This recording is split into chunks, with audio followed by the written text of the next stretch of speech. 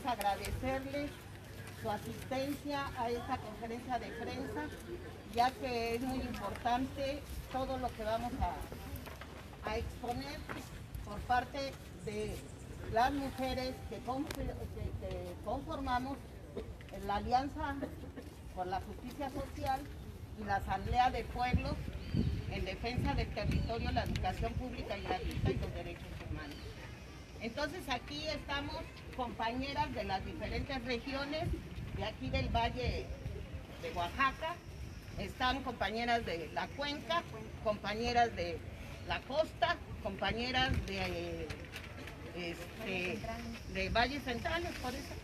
Y bueno, eh, representando a las diferentes regiones. Entonces, quisiéramos leer el boletín de prensa. Va a iniciar aquí la compañera Berta, que viene de la cuenca, representa a nuestras compañeras de Tustepec. Y bueno, continúa nuestra compañera Silvia, que representa aquí Valles Centrales. Y bueno, vamos avanzando con eso. Sí, compañero. Bien. Muy buenos días.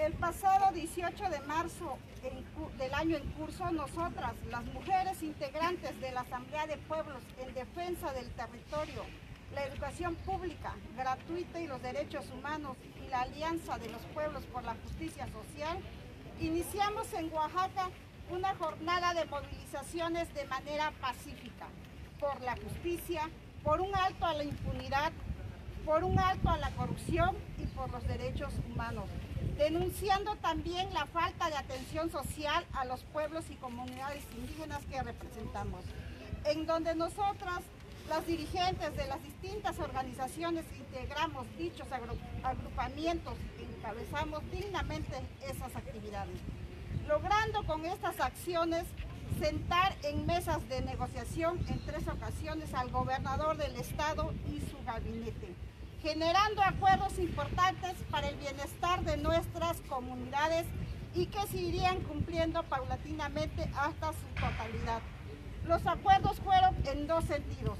Primero, justicia, en donde el fiscal general Rubén Vasconcelos Méndez se comprometió en atender los diferentes temas en las distintas regiones que tienen que ver con impartición de justicia, de agilizar las ejecuciones, las ejecuciones de órdenes de aprehensión en contra de quienes nos han agredido como mujeres, así como también esclarecer los crímenes de nuestros compañeros.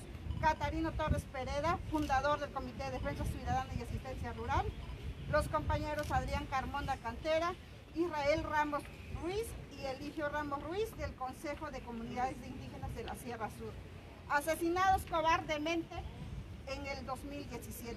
No obstante, de incumplir los acuerdos junto con sus aliados de la Fiscalía General, también orquestó todo un montaje mediático para detener injustamente a nuestro compañero Ernesto López López, del cual también exigimos su inmediata libertad. Segundo, justicia social, en donde se revisaron las necesidades urgentes que tienen nuestras comunidades y pueblos originarios, en donde el gobernador designó para la atención y resolución de dichos temas al coordinador general de Copalade, Jorge Toledo Luis, personaje que hasta el día de hoy, hasta ahorita, lejos de seguir las instrucciones del gobernador, se ha encargado de obstaculizar y retrasar el cumplimiento de los acuerdos. Nuestro estado, Oaxaca, siempre se ha caracterizado por tener una sociedad que repudia el abuso del poder por parte de quienes integran el gobierno, pues estamos seguros que el movimiento histórico que se gestó en el 2006 aún perdura en la sangre de todos los oaxaqueños. Por ello, anunciamos que iniciaremos una serie de movilizaciones regionales estatales y nacionales, hasta que el gobierno que encabeza Alejandro Murat Hinojosa nos atienda directamente sin intermediarios y cumpla con las comunidades y los pueblos originarios. Y bueno, pues esta es la conferencia de prensa que ofrecen organizaciones sociales quienes señalan, eh, bueno, más bien exigen la atención por parte del gobierno del Estado a través de sus distintas secretarías y también a través de la Fiscalía General del Estado en actos de violación a los derechos humanos y asesinatos que hay en contra de defensores de derechos humanos en el Estado de Oaxaca. Con esta imagen me despido de ustedes, seguimos pendientes de lo que sucede y vamos a movernos porque hay muchas movilizaciones este lunes 24 de agosto. Que tengan excelente día, mi nombre es Alexia Espinosa y está usted en MBM Noticias.